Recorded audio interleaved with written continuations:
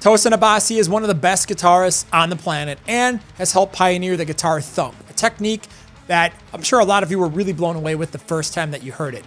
Mixing a guitarist on the level of Tosin isn't something you get to do every day, and in this clip, Nick shows you how he approached the different tones on Red Miso, so check it out and enjoy. As you can see, the SLO is the SLO 100, and we have the Morgan. Looks like we tested both of them out multiple times and ended up going back. This is Soldano with different settings. Again, I'm I'm leaning on the octave. I've got the P- PR20 completely muted. So this is like a like a like a quick palm mute.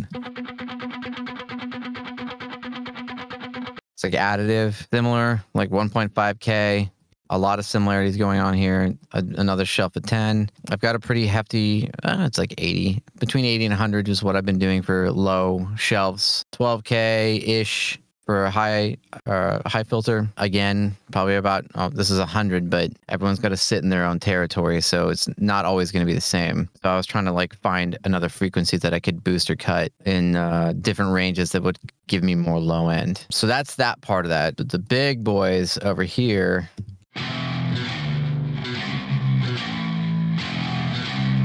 Now that is where those pictures, point of reference pictures, were the uh, the amp tones and the pedals and stuff. They're numbered. So the first one in the chain was the Cali 76 compressor pedal. The marked settings were what Tosin uses live, but I made some adjustments. Those aren't the settings we used on the record. But basically, what I did was to make the DI signal consistent because their playing is very dynamic sometimes. And a lot of this stuff is on the cleaner side, even though it sounds heavy. I wanted to make sure that the DI was as cons- consistent as possible. Then after that was this uh, Protone Dead Horse pedal. Those settings might be similar to what I did on the record, but what I did was I actually had the tone all the way up and the gain all the way down or drive all the way down.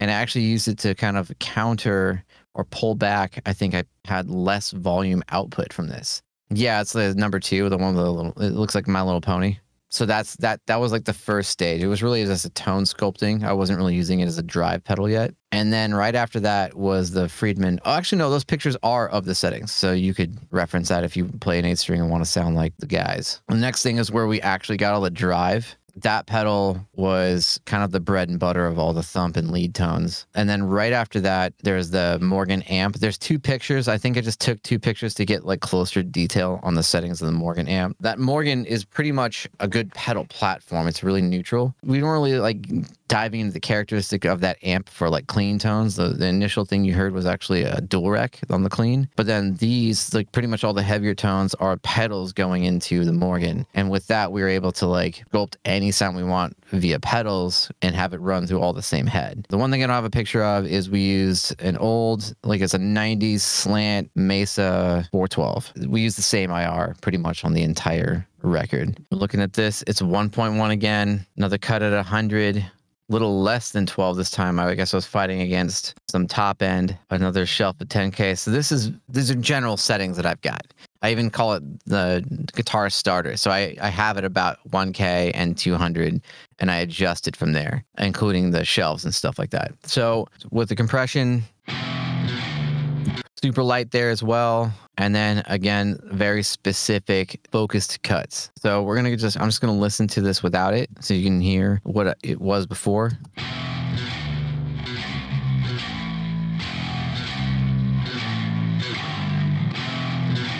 The tone is very similar to where it was. Uh, we definitely spent a lot of time miking these up and dialing the tones we wanted, especially for this kind of stuff. I just added a little bit more of that like throaty mid range that makes them stand out in the mix. So if I took these off and played them in the mix.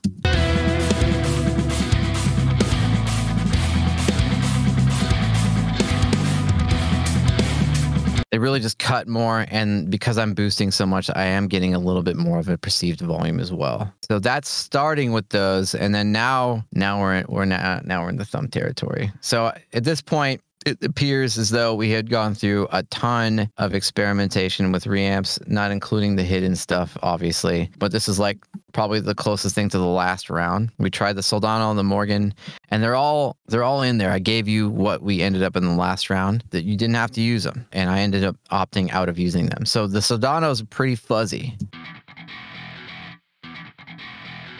It's a cool sound, but it's it wasn't really additive with these.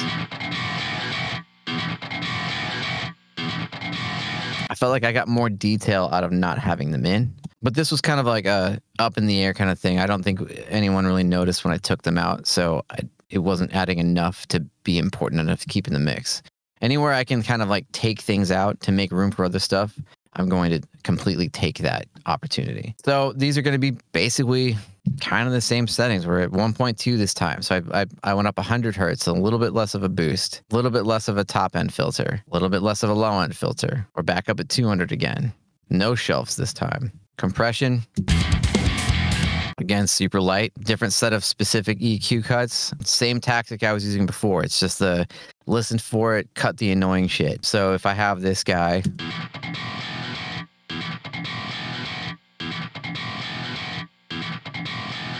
So I really wanted to get rid of this 2K.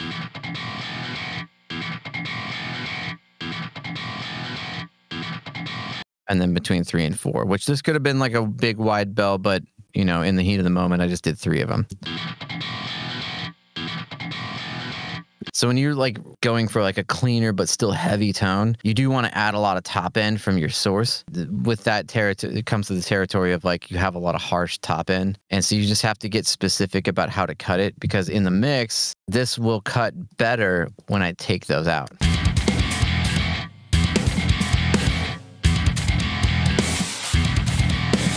and now we just made room for cymbals. So there's that guy. There's there's like the the initial thump. And that's pretty much this is the album tone right here. Like this one and the, the slightly heavier one that's about to come up with the selective picking.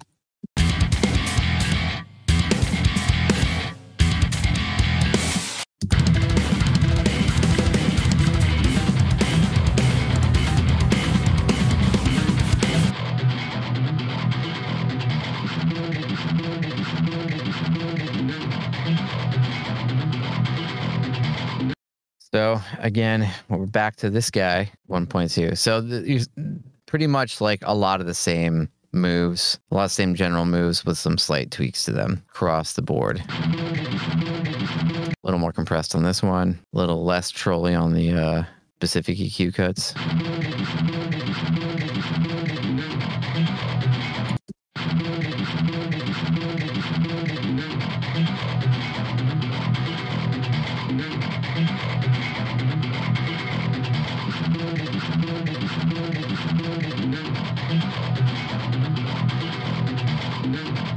It looks like we did end up using the Soldano at some point as a lower octave layer.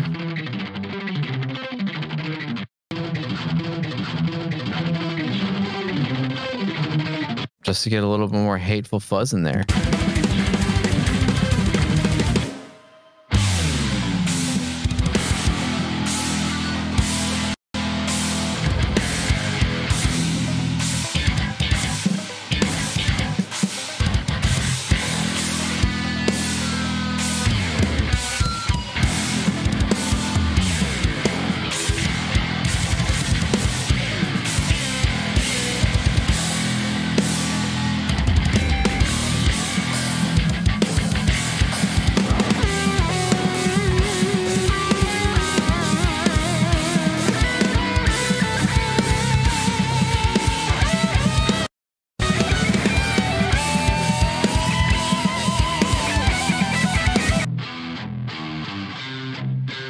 Each one of these is slightly different uh, tone. Maybe just to make it easier on the mixing, I just... Oh, they're definitely different.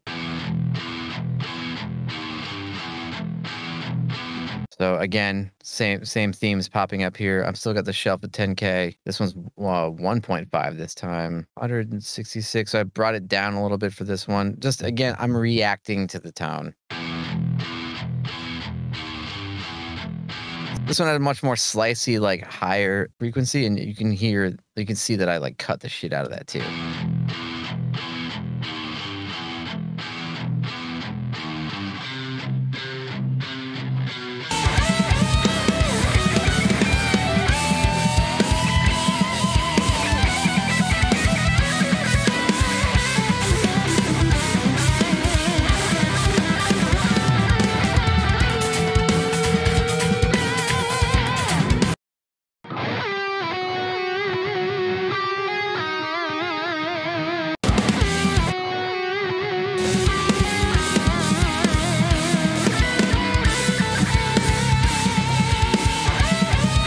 Different EQ this time, but very similar moves. We went for a darker tone with the, the amp sound, but it ends up I wanted it to be brighter. So there's a a shelf starting at 4K. I know it's it's a it's a bell. So we're kind of get a little more bite out of this. The solos and leads are a little more specific to like it's okay to get away with the uh, harsh ranges. I even added a, a, decent amount of mids here. I did not boost the low end. Filter back up at about 100. So there's a lot of consistencies that are happening here. And then I like I even did another 260 and some weird cut where I thought the resonance was weird.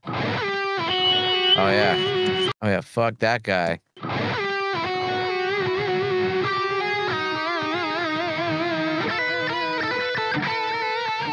Something I could have easily done with the one. There's this 500 millisecond 900 millisecond. So we're doing, we're still not syncing it. We're at the millisecond delay, but he still likes his delay directly on the track.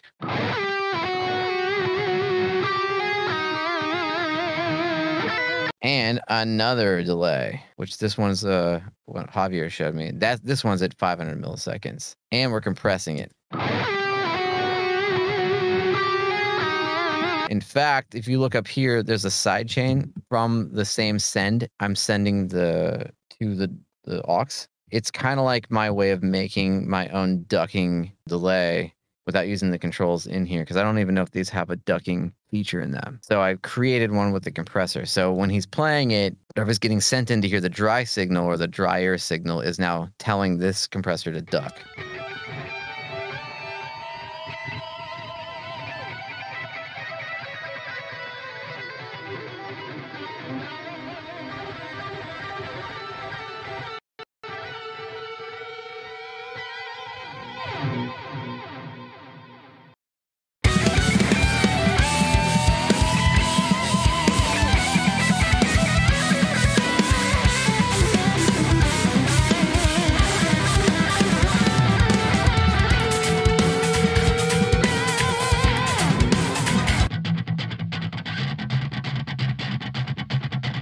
Another recurring theme here. I don't think I need to explain more of the same thing to you guys. I think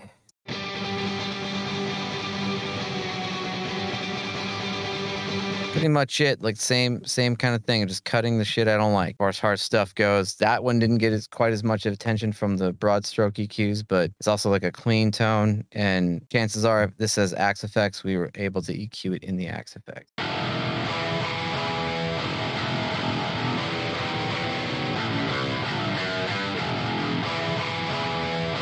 Same thing.